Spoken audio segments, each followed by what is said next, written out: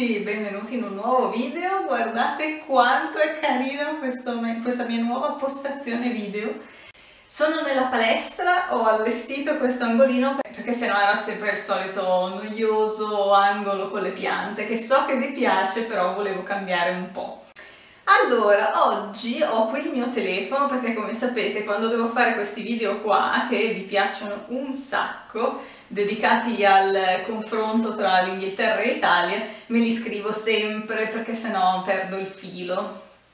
E sapete che mi piace fare video concisi, non mi piace dilungarmi troppo, sia per voi sia per me che li devo montare. Bene, oggi ho deciso di eh, proporvi un video un po' rischioso.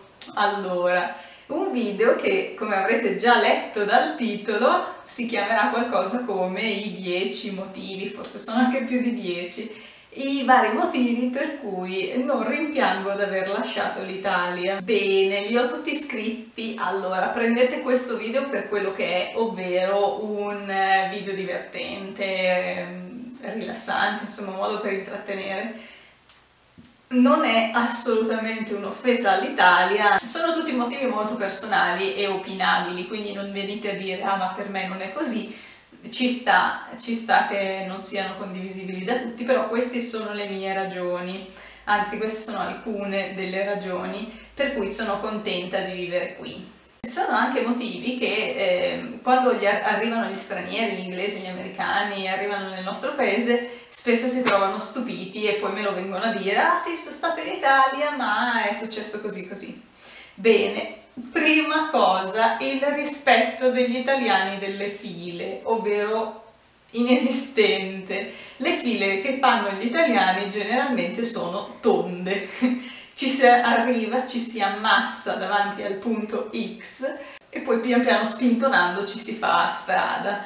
Mi è capitato invece qua in Inghilterra addirittura di sentirmi rimproverare all'inizio per, perché noi eravamo saliti sull'autobus prima di un'altra persona che era arrivata prima di noi alla fermata. Addirittura qua si mettono in fila quando arriva l'autobus in ordine di arrivo e cioè noi eravamo tipo sconvolti quando è successo, però una volta capito il sistema si segue e funziona. Altra cosa che mi lascia sempre, mi ha lasciato sconvolta quando sono arrivata qui e ora che mi sono abituata è l'opposto quando torno in Italia, è quanto urlano gli italiani, quanto sono loud. Me ne sono resa conto la prima volta perché eravamo in centro in paese e c'era un silenzio pazzesco. Io e Luca eravamo seduti su una panchina, ci siamo guardati e c'erano un sacco di persone intorno perché era tipo sabato pomeriggio e c'era un silenzio incredibile, tutti parlavano piano. Poi siamo andati a mangiare da Subway, anche lì era pieno e non volava una mosca. Invece eh, immaginatevi voi quando andate fuori a mangiare con gli italiani cosa si fa? Si urla per farsi sentire da un capo all'altro del tavolo, i tavoli accanto non sentono la loro conversazione quindi urlano ancora di più, va a finire che si torna sempre a casa con eh, il mal di gola per aver urlato troppo e mal di testa. Questa è una cosa che all'estero nel nord Europa non succede in Inghilterra men che meno sono tutti molto, molto silenziosi, parlano tutti a bassa voce, quindi fatelo se andate all'estero, se no saremo sempre etichettati come gli italiani rumorosi. Altra cosa che io non rimpiango sono i baci e gli abbracci. Eh, non sono una persona particolarmente abituata a dare baci e abbracci quando ci saluta e ci si lascia, non mi danno fastidio, però ne faccio volentieri anche a meno, ecco. È una cosa che gli inglesi si scambiano eh, a Natale, il primo dell'anno, o eh, se qualcuno se ne sta andando proprio tipo cambia reparto, cambia lavoro, così, allora sì, ci sta anche se a qualcuno è successo qualcosa, appena tornato, magari dopo una lunga assenza, va bene, però ecco, gli italiani di solito erano baci a bracci ogni volta che ci si vede, anche se sono passate due settimane. Voi da che parte state? Fatemi sapere se siete i tipici da, italiani da braccio oppure se siete un po' più nord europei. Altra cosa che lascia abbastanza perplessi quando ci si incontra con degli italiani è che non si decide mai un orario. ci si dice tipo al pomeriggio, ah sì, ci vediamo stasera, allora va bene, ci vediamo stasera, che ora? Adesso vi faccio sapere, ah poi decidiamo un orario, eh, ma facciamo verso le sette, venite voi quando siete pronti, è sempre così. Invece quando ci si incontra con gli inglesi si decide magari tre settimane prima, ci si trova alle 7.15 e tutti alle 7.15 sono lì davanti, puntuali, perché tutti arrivano un quarto d'ora prima. Invece se si esce con gli italiani ci si trova magari verso le 9, che vuol dire che poi diventa alle 9 e un quarto, poi oh dove sei e sto arrivando, per le 9 e mezza ci siamo tutti. Vero o no? La cosa a cui mi sono abituata immediatamente arrivata qui e ogni volta che vado in Italia faccio fatica sono i prezzi. I prezzi sono veramente cari in Italia. Nel nord Italia, da dove vengo io, ogni volta che torno è una mazzata.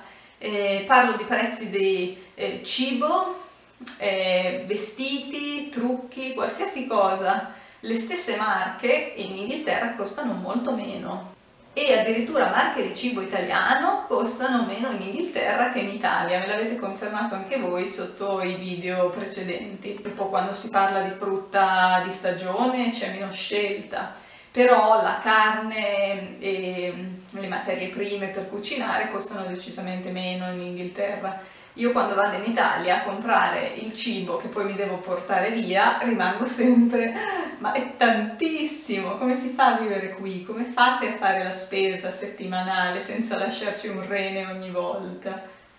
Altra cosa che eh, lascia gli inglesi sempre stupiti quando vengono in Italia e anche me che manco da tanto comunque la, il modo di guidare. Vengo da una zona che non è super trafficata, vengo da vicino Bologna, però la gente è pazza, la gente che guida in macchina è da mettersi le mani nei capelli, non rispettano i limiti, eh, non rispettano le rotonde, non c'è un, una logica, si buttano dentro da tutte le parti, gente che parcheggia in rotonda, appena non, non parti tipo Formula 1 al semaforo, subito dietro, po po po. Vabbè, questa è una cosa che infatti quando torno in Italia, se posso, evito di guidare perché non sono più abituata. Ci vuole, ci vuole carattere, ci vuole un, un po' di... Eh, una guida sportiva. Lo dicono tutti, infatti quelli che vanno in Italia a fare turisti mi dicono ma guidate come dei pazzi, eh, eh lo so. Una cosa invece che sono contenta non esista in Inghilterra e che non rimpiango è la pausa pranzo dei negozi. Eh, I negozi, come sapete bene, soprattutto nei paesi e non nelle città grandi, chiudono magari a luna, riaprono alle 4 e in quelle, 4, in quelle 3 ore di tempo cosa facciamo? Cosa si fa? Non lo so, se si è in giro per, eh, giri per fare spese, nulla. Addirittura mi è stato chiesto dagli inglesi se in quelle 3 ore gli italiani fanno la siesta. Io non lo so cosa fanno gli italiani in quelle 3 ore di pausa, probabilmente vanno a casa a mangiare perché se non abitano troppo lontano e hai tre ore cosa fai? Vai a casa, mangi, fai qualche eh, lavoro in casa, non lo so però sicuramente non è comodo per chi deve fare giri. Altra cosa che non mi manca dell'Italia, credo sia la settima perché ne mancano solo tre, sono le file, file in banca, file all'ufficio postale, file nei luoghi pubblici. Quando andiamo in banca qui di solito ci veniamo accolti immediatamente da una signorina che prende nota di cosa siamo venuti a fare, ci fa accomodare, tempo due minuti di orologio ci hanno ricevuto. È capitato una volta che andassimo in banca, più di una volta in realtà, senza appuntamento per fare faccende lunghe, tipo eh, la proposta del mutuo o ehm, l'assicurazione per la casa, che alla fine passavano avanti e abbiamo detto vabbè entriamo, vediamo se hanno tempo per noi, ci hanno sempre ricevuto subito, addirittura una volta non potevano, ci hanno detto abbiamo posto soltanto tra dieci minuti, volete una tazza di tè nel frattempo che aspettate, noi eravamo così sconvolti che abbiamo detto no perché non, non, eravamo pronti a questo genere di domande, addirittura ti fanno sedere con una tazza di tè se non sono pronti a riceverli. Questa è una cosa che in Italia è pura fantascienza. Le file alle poste, anche quelle qui non esistono. Il parcheggio della posta è gratuito per 10 minuti. Pensate 10 minuti, voi parcheggiate, entrate, fate quello che dovete fare e uscite. Bello, bello, proprio una cosa che tuttora ha... mi fa proprio stare bene, sapere di dover andare alla posta e non dover far fila. Un'altra cosa che preferisco di gran lunga qui è la gentilezza delle persone, ma proprio l'attenzione alle persone. Eh, c'è chi dice, eh, ma gli inglesi sono falsi perché non lo pensano davvero, fanno un sorriso finto. È il loro modo di fare, non è essere falsi. Eh, loro accolgono sempre i customer, il, le persone, i clienti, li accolgono sempre con il sorriso, sempre con gentilezza è molto molto raramente è capitato di trovare persone sgarbate e non durano tanto le persone sgarbate perché non è proprio, cioè vieni ripreso. È una cosa che invece purtroppo negli ultimi anni ho notato sempre di più quando torno, quando si va nei posti pubblici, la, il modo brusco che hanno le persone di interagire. Eh, probabilmente sarà che gli orari e gli stipendi non sono adeguati, che sono stressati, non lo so, però molto spesso mi è capitato di sentirmi trattata abbastanza, insomma, in modo rude quando vado nei posti pubblici, sia quando chiedi qualcosa ai commessi, invece qui c'è molta attenzione, se stanno facendo qualcosa tu gli chiedi dov'è questo, loro mollano quello che stanno facendo e vengono, ti accompagnano alla corsia giusta se stai cercando qualcosa, o comunque, cioè, sono sempre assolutamente 100% disponibili.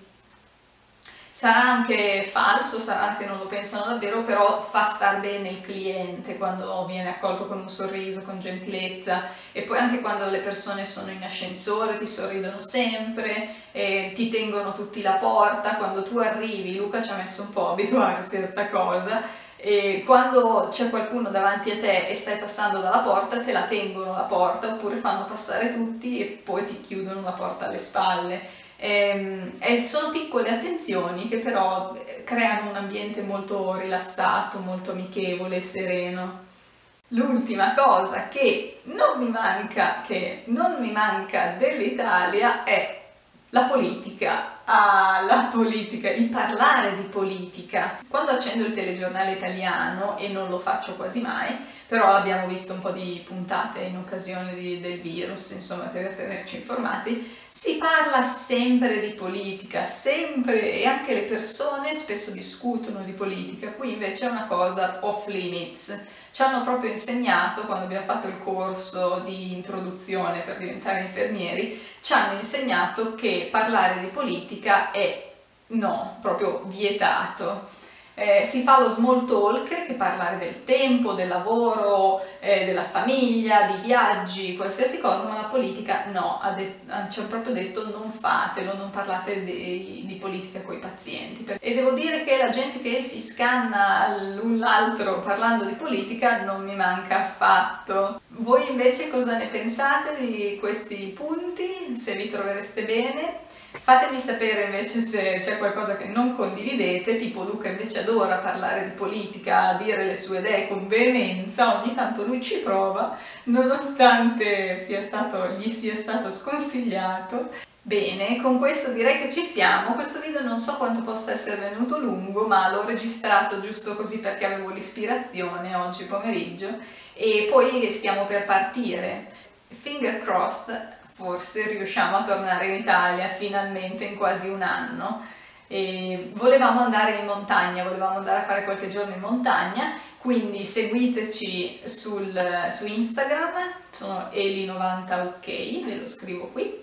Eh, seguiteci su Instagram se volete vedere un po' le nostre avventure, se no i vlog torneranno a breve con eh, i vlog delle vacanze. Se invece non riusciamo a tornare in Italia, avevo già iniziato a guardare per andare in Scozia eh, qualcuno mi ha detto non tornate in Italia, andate in Scozia, che sarebbe bellissimo, mi piacerebbe un sacco tornare in Scozia, soprattutto fare eh, quel giro che ho già programmato, però eh, da, non torniamo da talmente tanto tempo che vorremmo solo tornare a trovare gli amici, le famiglie. E niente, quindi per ora è tutto, ci sentiamo presto, se no se non ci seguite su Instagram vedete presto dai blog dove siamo finiti, perché fa un po' strano organizzare un viaggio senza sapere alla fine dove si sarà, se saremo qui, se saremo in Italia o se saremo in Scozia. Comunque i viaggi ci sono organizzati, quindi qualcosa sicuramente vedrete. Alla prossima, ciao ciao!